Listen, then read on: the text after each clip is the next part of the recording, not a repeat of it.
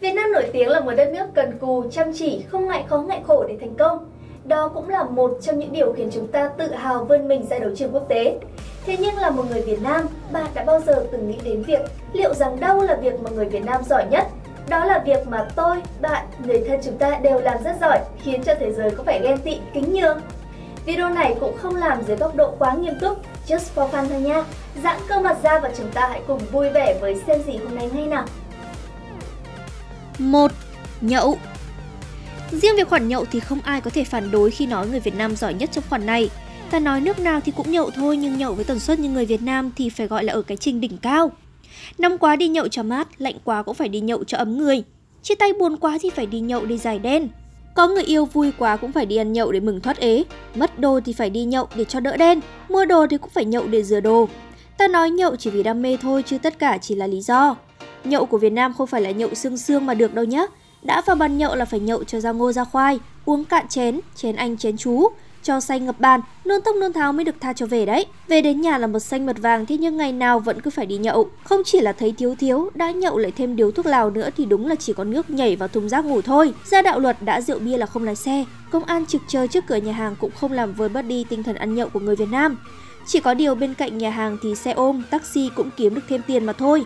Không ngoa khi nói Việt Nam là chúa khoản nhậu nhỉ cả nhà. 2. Stock Info Stock Info thì dân Việt Nam phải gọi là đỉnh cao. Không nói người ta còn tưởng đấy là khả năng bẩm sinh của người Việt ấy chứ. Từ các bạn gái, bà vợ thấy người mình yêu dạo này sao lại có biểu hiện khang khác. Có khi nào có con bồ nào rồi không? Thế là nhanh như chớp soi hết trang Facebook của người yêu, soi đến đứa nào thả tim, phẫn nộ, rồi ha ha.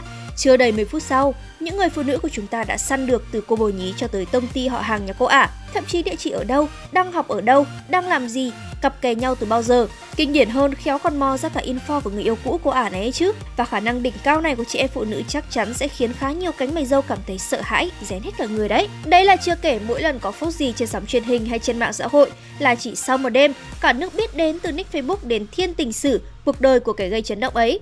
Từ trong nước đến nước ngoài, chắc hẳn chẳng mấy chốc phần bình luận rồi tin nhắn muốn phát nổ. Thế nhưng phải khóa Facebook mới được yên thân đấy chứ. Động vào người Việt sợ phết đấy.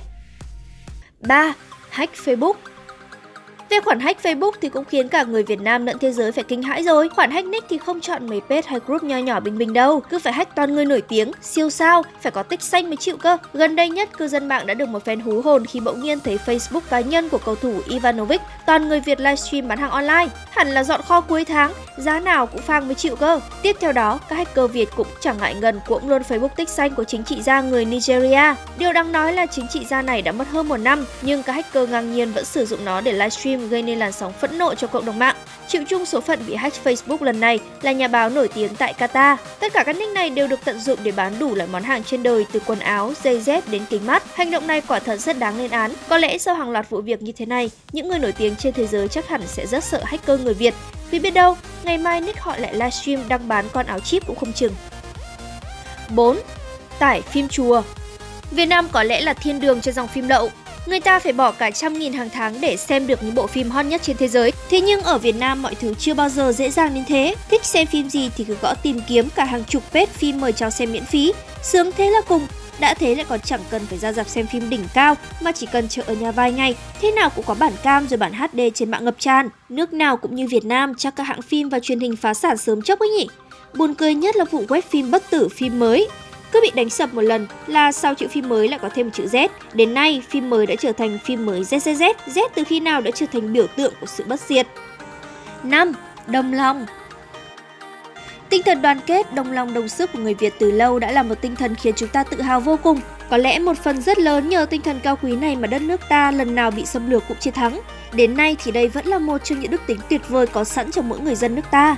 Ngày thường có thể điều này không bộc lộ rõ thế nhưng đến khi đất nước lâm nguy hay có việc gì đó trái ngược đạo lý xảy ra, đảm bảo người Việt bật công tắc chuyển chế độ đồng lòng ngay.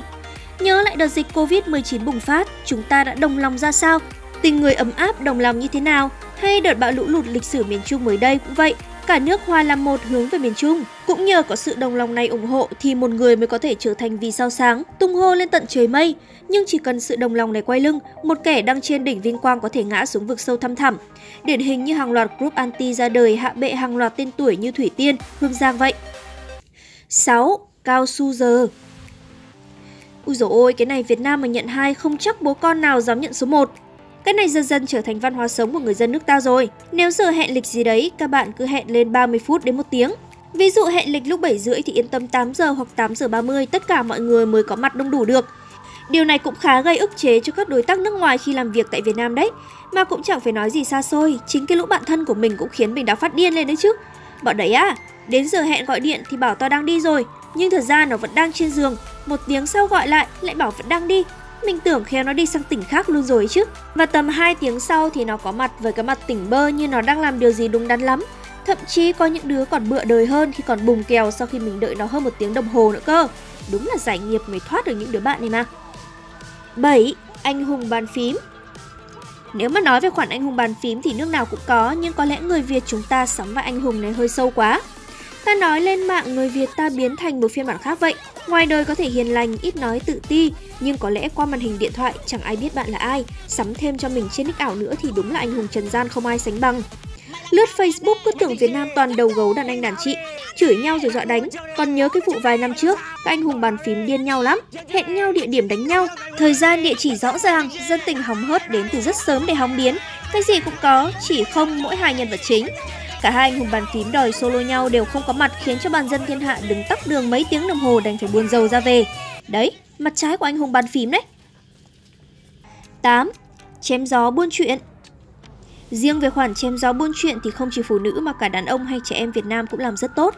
Đầu tiên cứ nhìn vào quán xá Việt Nam là biết, từ quán cà phê này, quán trà chanh, trà đá, trà sữa vỉa hè, tất cả các quán này đều có mục đích chung là cho các bạn trẻ có chỗ để chém gió buôn chuyện với nhau. Mà một khi đã ngồi xuống buôn chuyện thì đừng hỏi giờ giấc là gì, mà phải tính bằng giờ, bằng cả buổi ấy chứ. Thế mà lúc đứng lên ông nào bà nào cũng chia xa trong sự tiếc nuối vô bờ. Quả thật không biết chúng ta nói gì với nhau mà nhiều thế chứ lị. Học sinh buôn chuyện cả ngày trên lớp, tối về nhắn tin gọi điện buôn cả đêm. Mấy bà cô hàng xóm thì việc chém gió buôn chuyện nó là công việc phải tính theo năm. Và các chị gái buôn chuyện nói xấu chung một đứa mình ghét thì nó phải nói là câu chuyện của cả thế kỷ cả nhà. Cảm xúc của các bạn ra sao sau khi xem video này? Bạn có thấy đúng là những điều mà người Việt Nam làm tốt nhất hay không? Bạn có biết thêm những điều gì mà người Việt làm tốt nhất nữa không? Hãy chia sẻ cho mọi người biết nhé! Xin chào và hẹn gặp lại!